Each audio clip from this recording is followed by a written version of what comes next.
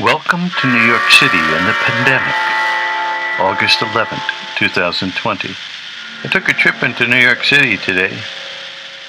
As you can see from these pictures, quite deserted. Policemen on horses, not wearing face masks. Everybody else is, though. Went down to 36th Street, my old office. They're at 50% capacity, the building. Everything was just a little bit worse than my trip a month ago. There are less bus lines going into the city, some canceled August 7th, second cancellation. The subways are still deserted. It's very surreal. It's like a Twilight Zone episode. I only had one bus coming home at 6 o'clock. No buses in the afternoon. One bus to get there, to do my deeds. They were selling face masks everywhere, in the stores, probably to survive. Everybody was wearing a face mask in the streets. Paranoia set in. Best coffee in New York City in a long time from that stand around 34th Street. I sat in Madison Park for two hours in 91 degree heat because there are no seats anyplace. No seats in the restaurants unless you go to a high end restaurant with seats outside. But the restaurateurs told me that what are we going to do when it gets cold? We can't put seats outside. We have no capacity inside.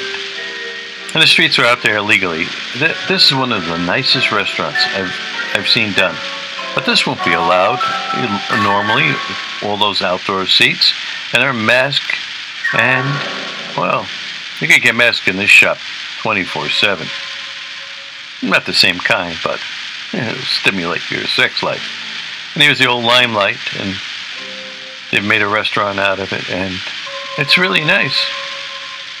The streets are very surreal, very surreal. New York Cuomo. Now there are checkpoints coming into the city. You have to quarantine yourself for 14 freaking days. Can you imagine that? Well, they put you in a box. Here's this guy perusing his next mask. Should I scare my girlfriend? Or should I just scare at the pedestrians on the street? And look at all those heads. Who knew face masks would be so popular? This was the highlight of my day. The guy outside Macy's with his bubbles spreading coronavirus. Yep. Oh, there goes a big spore. How exciting.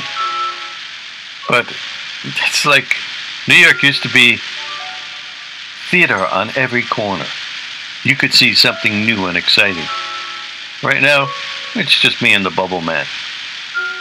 Well, now you like my little journey into New York City for an adventure.